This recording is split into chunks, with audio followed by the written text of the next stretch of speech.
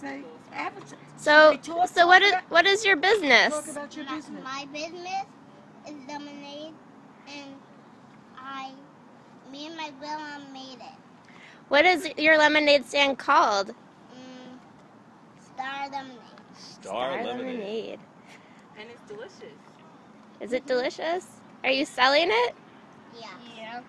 How much? How much? Mm, Don't- 25 cents a glass? Twenty-five cents.